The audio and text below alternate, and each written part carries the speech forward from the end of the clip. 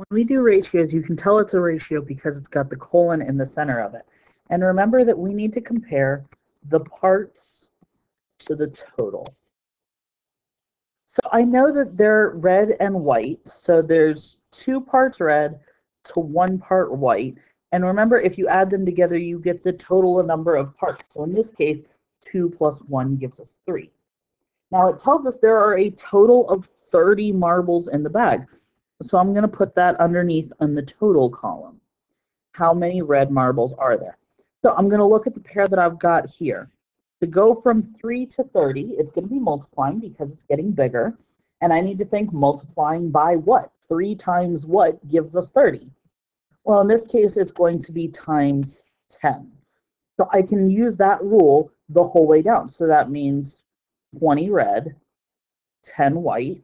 Since it asks specifically how many red marbles there are, it would be 20 because red came first. So let's do another example of that. It's another one. We're still going to compare parts to whole.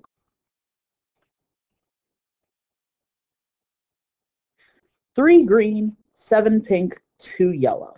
And so it even gives it to you three parts, seven parts, and two parts.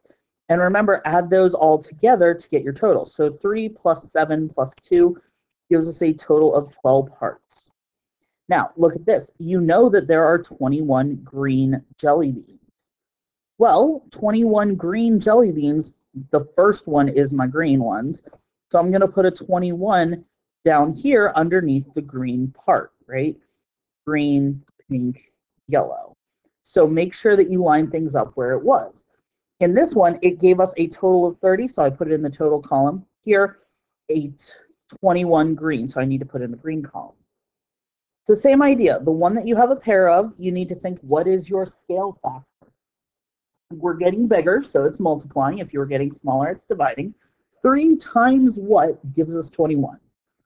Well, this is times 7. So we're going to multiply everything by 7. 7 times 7 gives us 49. 2 times 7 gives us 14. times 7, I need a calculator for that one, gives us 84. So now when it asks us how many jelly beans are there in total, it's going to be 84.